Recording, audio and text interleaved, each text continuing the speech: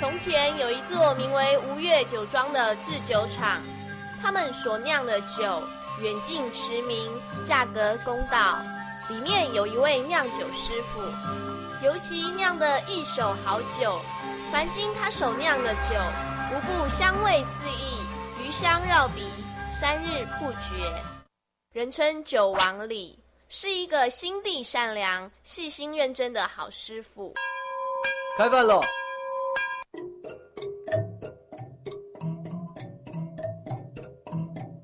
已经一整天没有好好吃东西啦。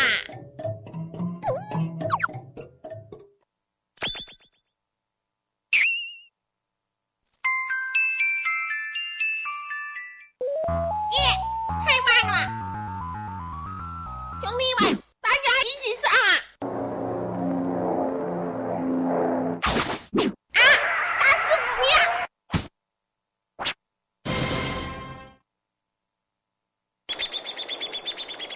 你们这些恶心的苍蝇，看我给你们致命的一击！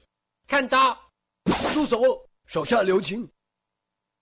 啊，九王里，上天有好生之德，放他们走吧。趁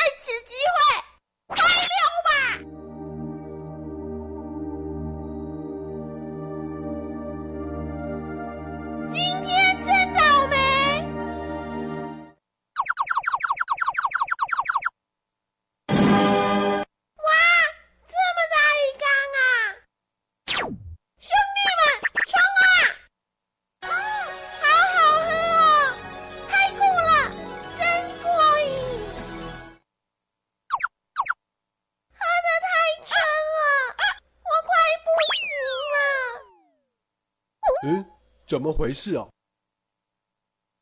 原来又是你们这群小家伙！等我一下哦，再忍耐一下下，让我把水分用棉花吸干。安公，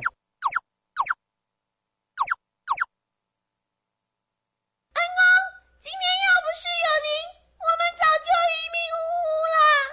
好说好说，大家有缘嘛。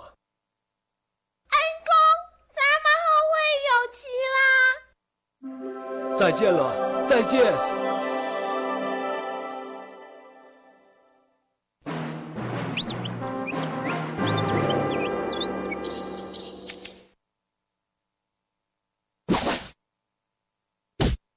喂，被告九王里，因一时贪念，竟然意图盗取他人钱财，进而想杀人灭口。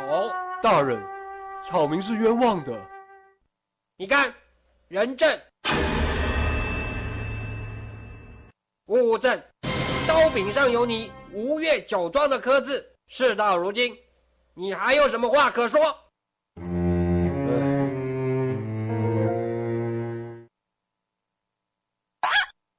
既然你无话可说，表示你已俯首认罪，我就判你死罪。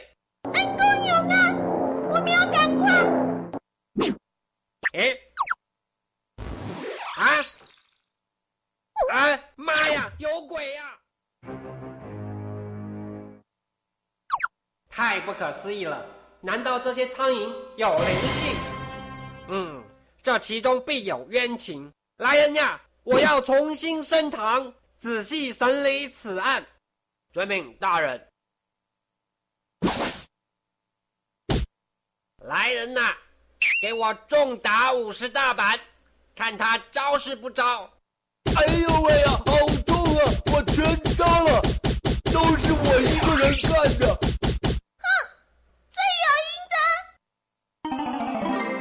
多谢大人明察秋毫，还草民清白。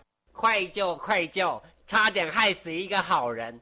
各位小兄弟，你们对李某的恩情真是刻骨铭心，永志难忘大家注意听我口令。